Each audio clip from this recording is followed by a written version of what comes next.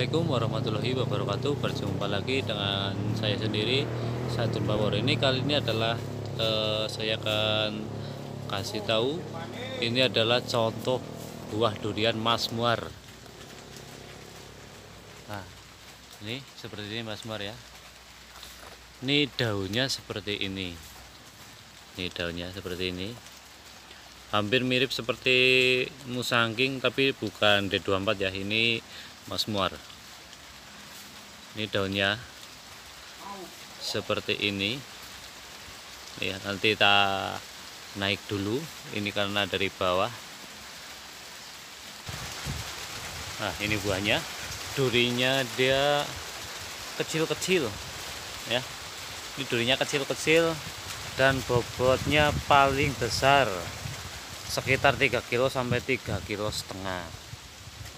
Untuk rasa dia sangat nikmat sekali ya. Ini pohon dengan ketinggian 10 meter. Ini buah.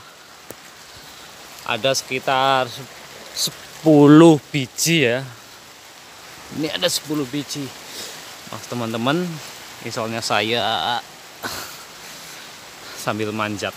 Ini yang masih kecil nah ini buahnya seperti ini. Ini adalah mas muar tuh.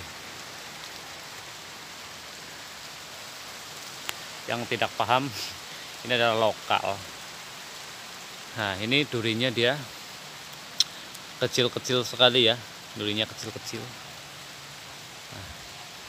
Ini ada ini ada 10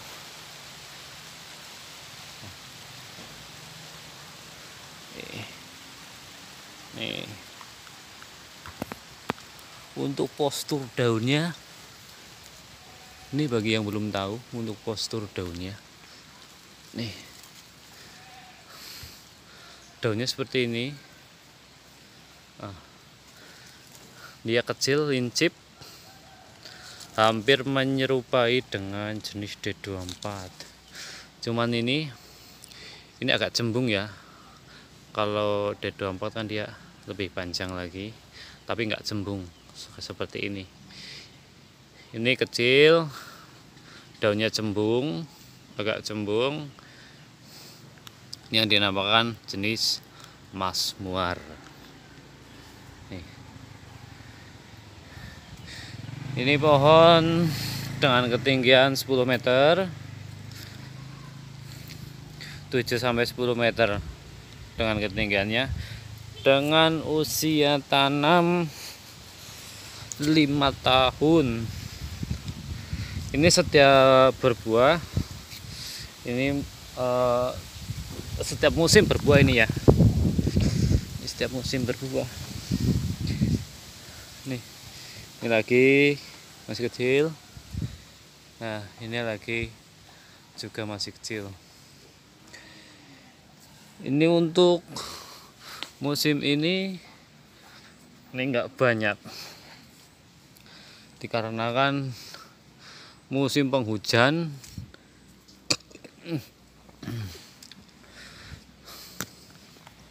Nah ini dikarenakan musim penghujan. Begitu buah sudah seperti ini dia banyak yang uh, rontok ya. Soalnya dia nggak kuat jadi dia pada rontok pada jatuh. Ini untuk semua jenis durian rata-rata seperti itu banyak yang rontok. Kemungkinan musim ini uh, tidak begitu banyak. Untuk DD wilayah saya kemungkinan nggak seperti musim kemarin tapi diprediksi untuk musim yang kedua sekitar bulan Januari sampai Februari nanti akan keluar bunga lagi. Nanti akan banyak. Kalau jikalau itu hujannya sudah tidak seperti sekarang ini. Nih Mas Muar ya Oh Mas Muar ini sekarang eh, baru sekitar 2 kilo setengah ya hmm.